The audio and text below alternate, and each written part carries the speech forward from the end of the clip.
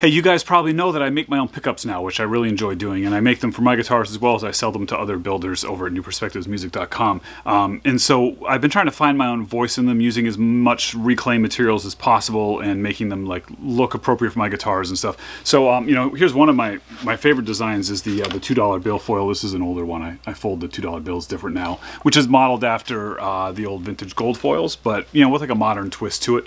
Um, and then uh, I was also experimenting with making humbuckers from reclaimed pallet wood nails, and I based them off the classic Gibson PAF design, which stands for patent applied for when Gibson uses it, but when I use it, it stands for pallet as so um, I liked I liked those pickups a lot. I think they sound great, but they're really labor intensive, and uh, so I was like, well, maybe I'll just use new nails instead. And I'm still trying to design the best way to make them. But then I had this idea that I thought it would be a lot of fun to use instead of just boring old round nails. Um, I like square cut nails, like these vintage style square cut nails, which you can still get. And um, I thought that this head would look pretty cool as our pole. And um, so, well, let's just go ahead and make them. I started by sorting through my grandpa style coffee can of random nails that I've collected over the decades. I have a lot of cans like this. These nails do vary a little bit in size, so I took a couple quick measurements and then I just started by using a piece of scrap closet door, of course, and cut out some test bobbins on my Thunder Laser Nova 35. And that's an Alnico 5 bar magnet that I'm going to use in the bottom of it. I realized pretty quickly that I also need to put holes in the piece that holds the magnet in place for the nails to go through past the magnet to make sure they're making good contact. And they were a little bit loose in the holes. So this is the this is basically the assembly of the pickup once it's all wound. Is we have these poles that go down through a bobbin like that and they have to touch this magnet down here um, and then, you know, one's round one direction, one's around the other because of the way the magnet is north and south are, are opposite each other. And then you can put it all together and you have a humbucker pickup. The problem I always run into with these stupid designs is is making everything sit still and nice. Um, like, so I just went and I made these holes and it's not bad, but I got to figure out how to make these bobbins stable so I can wind them. Um, and then I just had sort of a revolutionary idea that these are nails. I could actually nail them in. These nails are wildly inconsistent the way they're made, and so by just making the holes smaller than the size of the nail, like decidedly smaller, uh, I could get a tight fit so they'd stay nice and tight in there. And then um, I did the same thing on the bottom bobbin, making the holes even smaller for the taper, uh, but making it so tight that I would have to pressure fit it into place. Uh, this took care of all the inaccuracies and and, um, and differences in the nails. But of course, they have to be shorter too, because otherwise that pickup would never fit inside a guitar. So I just drew a line and set up this little jig to to cut the nails shorter. It doesn't really matter. I can still, you know, do what I need to do.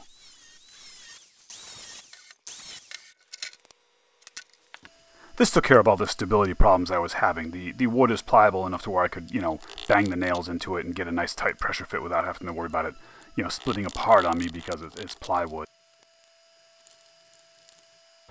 I've changed the holes around a little bit and uh, and I added holes to the bottom plate so the nails can actually go through a little bit. Um, and so now this is the way it would go together. I can get these two pieces into this bottom piece so all the nails are touching the magnet and then um, I can go in here and I could actually once I'm done winding I don't want to do it now and I'll be able to give this a little tappy tap with a hammer right into the bottom piece, the bottom plate. And of course I'll be gluing it and stuff too. Um, and so it should all make good contact with the magnet and, um, and stick together as one solid unit. In theory. Now that I successfully got one together, the second one went together a lot easier, of course, um, but the practice makes perfect. Although I still haven't quite figured out exactly how to put the whole bottom together, which you'll see later in the video what I did. But uh, so, you know, I was able to tap these together and I have these little shims that set a specific uh, height distance for me that you'll see here I put inside uh, the pickup. There's little MDF slivers and then I can make sure that both pieces are the same height so they'll line up properly. I insulated the nails with some um, fabric style electrical tape and now they're ready for winding. I also took a minute to just label uh, each bottom before I did this of uh, you know north and south and up and down and all this stuff just to um, help me keep the winding process going properly. It's really easy to get screwed up.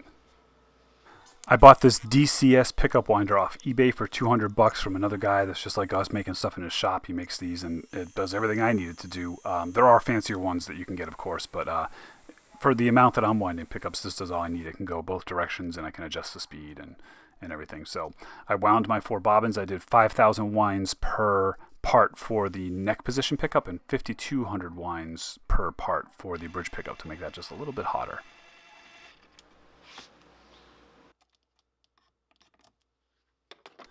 Currently I'm just epoxying in uh, nuts that I can thread these uh, screws into and I sort of sandwich them in together to, to get all the pressures right when I put these pieces together. In the future I might get actual metal plates made that I can then tap so the um, the threads will go right in, but I have to really finalize my design and make something that'll work for everything. And then I also realized that um, in the past I, I designed a piece with these corners cut off so I have room for the wires, and so I just had to cut that off by hand, and I'll rectify that in future versions.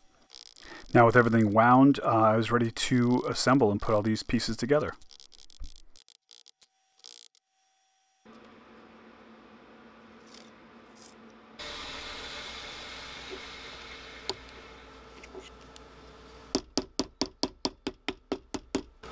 This looks worse right now because of all the splintered um, closet door wood, but this went together a lot better. And it's just to tweak the sizes a little bit. It'll probably go to bed, go together even better. You can see things are just a little bit, there's a couple little off spots here.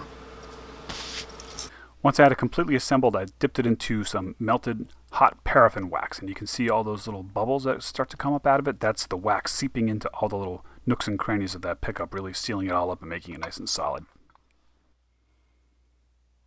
It's common for the heat to loosen up that tape, but if you just push it back into place as the wax cools, it sticks the tape in place where it belongs. The trim rings for the humbuckers are also made from reclaimed closet doors, but I double them up to make them a little bit thicker and stronger. Hey guys, today's video is sponsored by me and my supporters over at patreon.com slash timsway that's right i don't take money from companies. There's a couple that i work with but i don't just put pointless ads in the middle of my videos that mean nothing to you or me or anybody that are just money grabs. Um, but one of the ways i can keep this channel going and making fun free content is by getting the support that i get over at patreon.com slash timsway and by selling the products that i make here on this channel and off the channel like some of this stuff that's hanging up behind me. That's all going to be for sale soon at newperspectivesmusic.com as well as some of the other pickups that i make that are already in stock go check it out. Back to the show. Well, yeah, the underside's still a little ugly, of course, um, but they're all waxed in, in their frames, and I got 7.3K on the neck and 8.2 on the bridge, so they're right in that sort of vintage humbucker range. Uh, I can't wait to put these into a guitar and try them out. I have my little test guitar here, thanks Russia, and um, what I can do is I can just slide pickups into this big cavity and, and just make sure they work. I have them plugged into my little kind of cruddy Line 6 test amp here. And um, we can hear, this is the neck position nail pickup. It's not quite level.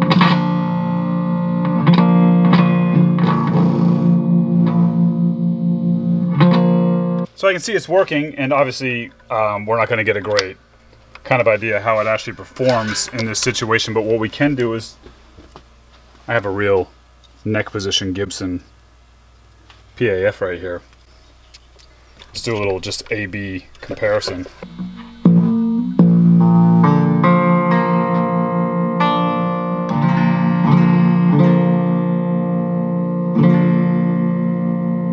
It doesn't sound all that much different to me, but of course we'll have to put it into a real guitar to find out.